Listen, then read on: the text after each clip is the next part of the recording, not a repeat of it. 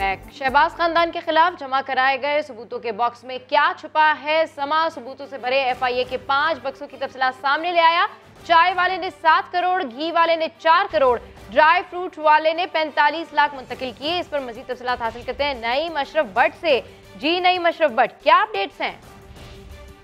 अजीब चौंका देने वाली अपडेट्स हैं इसमें कि जो पाँच बक्से जमा करवाए गए एफ़ आई ए की जानब से अदालत में शिवाजी खानदान के खिलाफ उसमें पाँच हज़ार दस्तावेजात हैं और इसमें खास बात यह है कि जो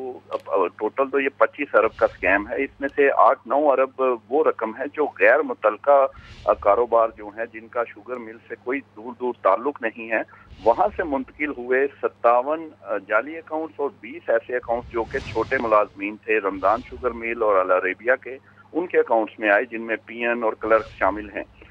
इसमें आप हैरान होंगे कि